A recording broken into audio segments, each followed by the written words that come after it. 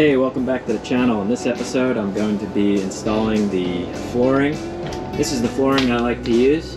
It's a Traffic Master, the vinyl plank flooring. And should be able to do the whole van with just four boxes. You can find flooring that's even cheaper than this, but for such a small square footage, this is a pretty good brand. The total price was $174 for the four boxes, so it's not really worth trying to save the money with uh, cheaper quality flooring.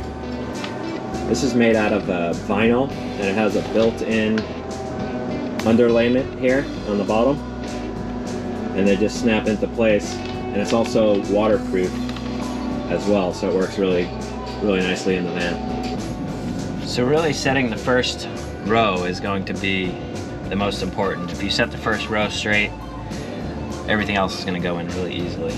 One thing to keep in mind, this is the groove side, this is the tongue side. You want to start with the groove side out, tongue side facing that way. It just snaps in a lot easier that way than if uh, you had this flipped around the other way. First thing we're going to do is just set one piece out right in the middle here and we're going to scribe this piece here. Okay, so I cut this piece down to uh, 18 long here. Set it on top of this. And now we can scribe this piece.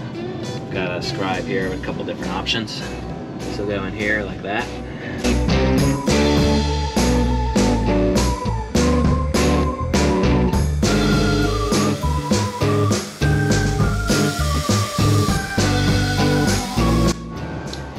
Okay, I got this first piece cut in, and not gonna lie, it took three tries, uh, but now it looks perfect.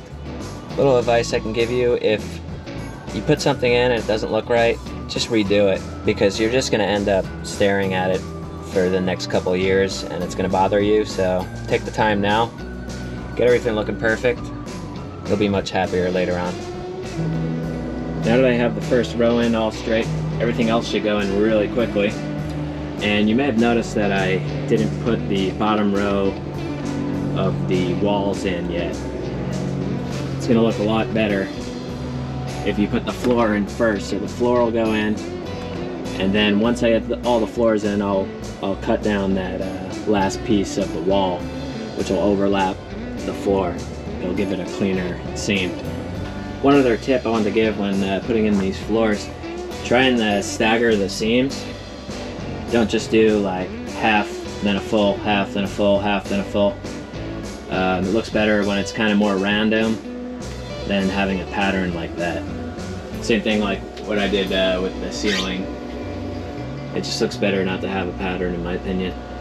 So now I'm just uh, putting the pieces all the way past the edge and then just taking a straight edge and making a line and, and cutting off the edge. Later on, after I put this uh, sink base cabinet in right here, I'll have a uh, trim piece that'll cover the edge. I am finding it easier to put uh, one full row together and then snap it all into place rather than putting one piece trying to get the this this edge in and this edge in at the same time. So if you just put the whole row together, then it just uh, snaps in a lot easier like that.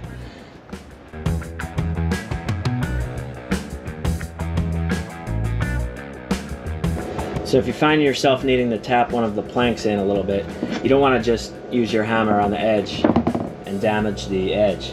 So you can cut a little uh, scrap piece, you can put the tongue side in, and then you can tap here with your hammer, and it doesn't matter if you damage this edge, and it'll keep this edge nice and uh, finished for the next piece.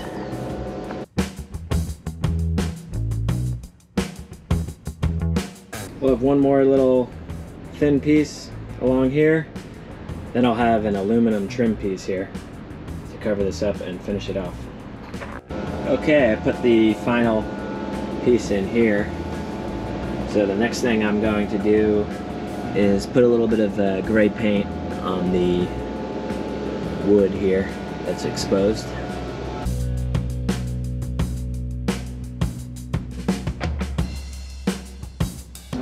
Next thing I'm going to do is put a metal trim piece to cover most of this and to also protect the edge when you're sliding things into the back here. So I got this aluminum angle piece from Home Depot. It's an inch and a half each side here and 1 16th thickness. They also make it in 1 8th thickness, but I think this is thick enough for what we're doing here.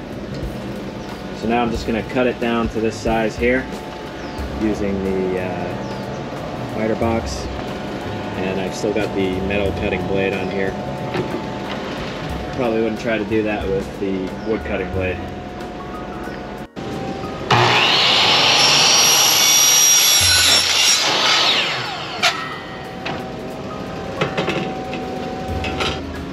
So that fits in nicely, so now I can uh, pre-drill a few holes and we'll maybe do one, two, maybe four screws and I'll use some silver screws for this. I'm going to use this countersink bit for this which makes a really nice recessed hole like that so the screw head should fit right in.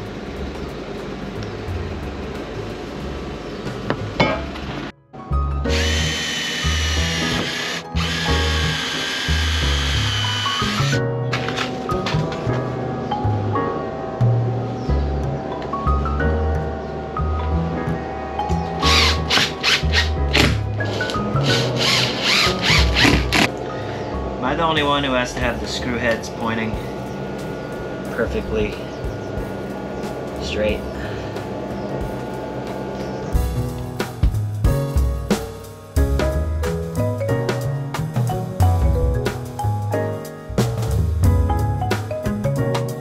Nice finished look. You can see why I painted before I put metal on. This should protect the edge if you're uh, loading things into here. Now that we have the floor done, I can finally put in the bottom layer of the walls all the way around. So as I cut these pieces to put in, I'm gonna paint them before I put them in. That way I won't get any paint on the new floors. All right, the very last piece of the wall going in.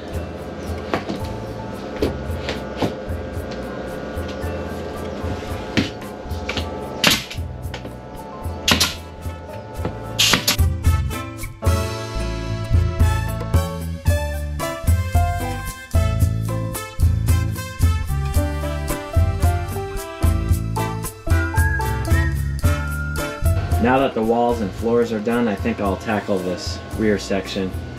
This pillar here and here. We're going to cover that with this carpet you get from Home Depot, which I also used over here. Just spray adhesive it on. Also, we'll finish off the doors today as well. So it's kind of tedious. You just have to do each piece one by one, and then there'll be another piece here up here we need to make sure it's removable so we can access the tail lights if those ever need to be changed and also we're going to fill all this with insulation before we put this in. You can save a bit of time making the other side. Each time you get a piece perfect for one side, you could flip it upside down and then cut out the piece for the opposite side.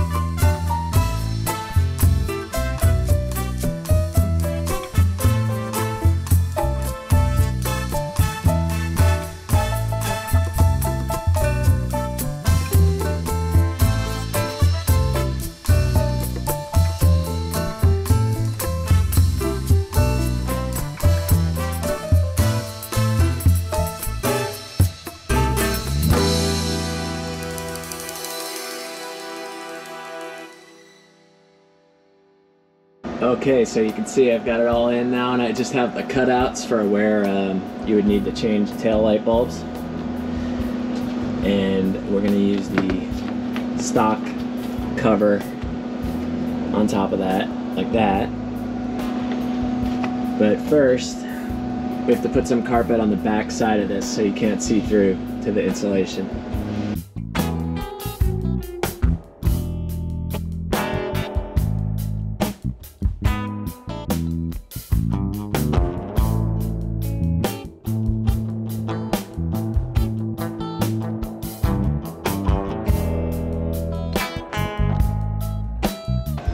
So next we need to glue this piece down to the cover.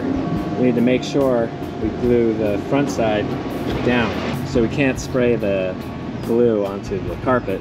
So we're just gonna spray the glue on the back side of this and then stick it right to there. And we should be able to screw this piece right into the wall.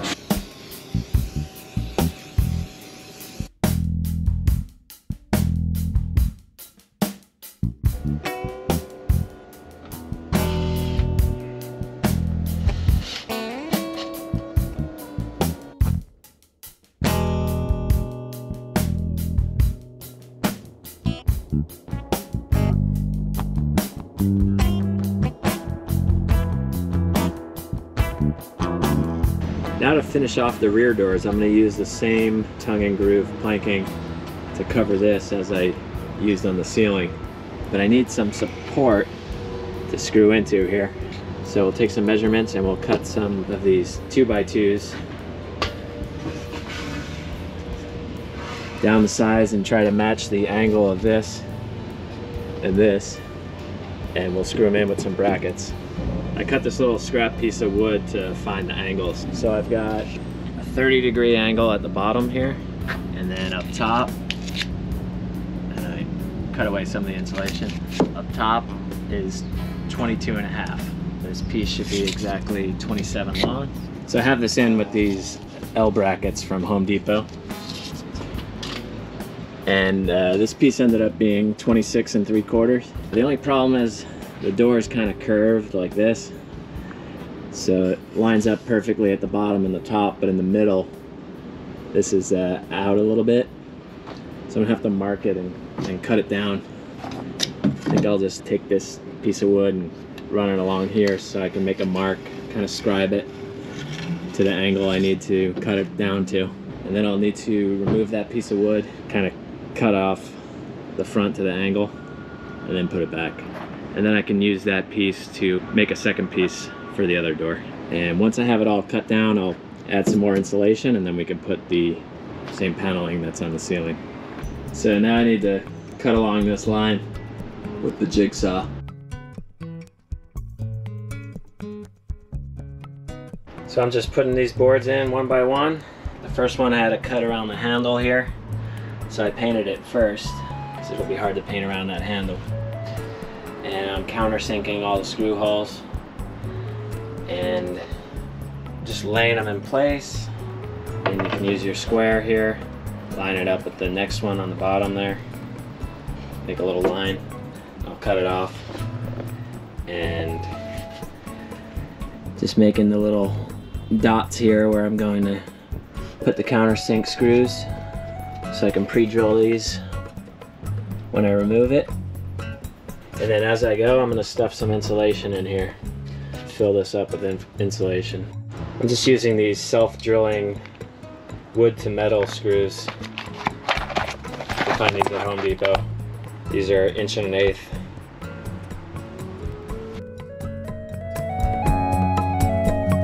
Now that that's done, I can use the wood putty to fill these holes. And then while the wood putty dries, take these panels off and put some insulation behind them and then sand down the wood putty and paint.